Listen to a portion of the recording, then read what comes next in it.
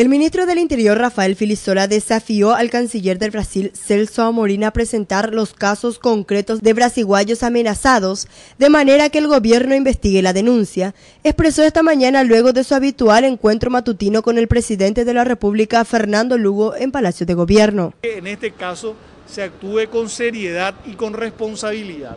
Cuando se hacen, cuando, cuando se hacen denuncias, estas denuncias se tienen que sustentar mínimamente se tienen que hacer formalmente.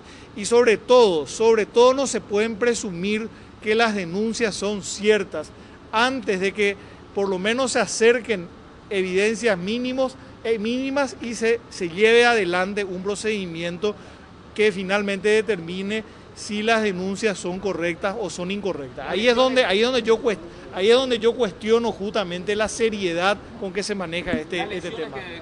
Reiteró que en el país se garantiza el derecho a la propiedad privada para paraguayos y extranjeros.